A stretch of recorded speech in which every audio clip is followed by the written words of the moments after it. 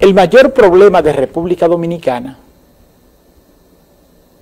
en estos momentos es el COVID, problema número uno. El segundo y el tercer problema de interés de la República Dominicana, de los dominicanos, es entre la delincuencia y la corrupción. Se debate en el segundo y el tercer nivel. Un cuarto nivel tiene que ver ya con la situación económica. La corrupción antes estaba en el séptimo y el octavo lugar. Y está en un segundo. Está en un segundo y un tercero. Y así usted comienza en efecto cascada. Y usted se va a dar cuenta que el tema del aborto quizás sea el decimoquinto tema de interés para los dominicanos. Entonces, es cuando verdaderamente me cuestiono, me pregunto y cuestiono. ¿Por qué traer ese tema que está en el decimoquinto, decimosexto, decimoséptimo lugar de interés como tema nacional? ¿Por qué traerlo a la palestra pública como se ha traído? ¿Por qué alarlo de allá atrás por la greña y traerlo para acá? Cuando hay temas de interés nacional que son vitales la respuesta. Me pregunto por qué. Veamos, por ejemplo, el presidente de la República de una declaración que está de acuerdo con el aborto, con las tres causales. Lo trajo el tema. Se lo preguntaron, lo cuestionaron, lo sacaron de contexto. Trajo el tema a colación. Entonces, me pregunto por qué. Los que le dimos seguimiento a la campaña electoral sabemos que aquí se coqueteó el favor con la embajada norteamericana, con la embajada de los Estados Unidos.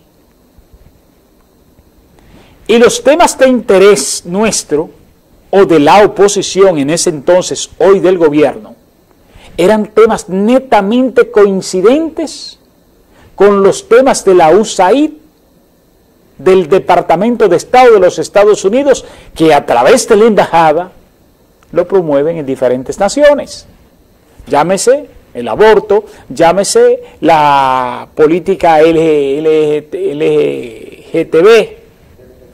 este el factor racial, el derecho de las minorías, en fin, esos son los temas de la embajada norteamericana.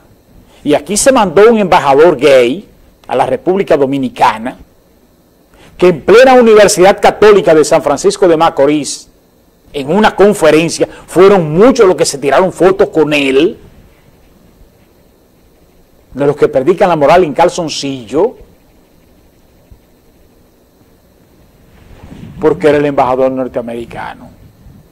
Pero yo estoy seguro que si es otro eh, hito, no le hacen coro. No le hacen coro. Porque aquí somos un grupo de monaguillos, de alcahuetes de los norteamericanos. Por eso se ha traído este tema que no estaba en la palestra pública, que no es uno de los temas categorizados de interés nacional en la actualidad, que no es nuestro problema en estos momentos. Nuestro problema es el COVID, nuestro problema es la corrupción, nuestro problema es la delincuencia, nuestro problema es el alto costo de la vida. Según los estudios mercadológicos, no, estoy, no le está hablando Wilson, le está hablando de los estudios que manejan los políticos. Ahí es una de las razones por las que ustedes ven que solo así se justifica que se haya traído el tema del aborto y se haya puesto sobre el tapete. ¿Qué es el aborto?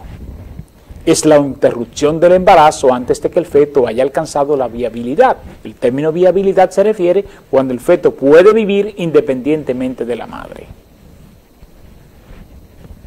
Aquí se hablan de tres causales. Una de las causales es cuando el feto pone en peligro la vida de la madre. Esa es una de las tres causales, son tres. Cuando es producto de la violación, cuando es un incesto, es decir, que haya sido el producto, haya sido el resultado de una relación de padre e hijos, padre e hija. ¿Eh? Y cuando el producto pone en peligro la vida de la madre. Esto en repetición, porque es de sumo interés. Los que conocen un poquito de medicina saben que la salud se rige por protocolos. Y los protocolos son los pasos a seguir, los enunciados a seguir, o más bien, los pasos a seguir dictados por un enunciado para la continuidad de un paciente ante una patología X. Es decir, cada patología asociada tiene un protocolo. Y ese protocolo le dice a ese médico cuáles son los pasos a seguir. Y aquí no se necesita ley para esto. Eso es criterio facultativo. Eso se da en cada ocasión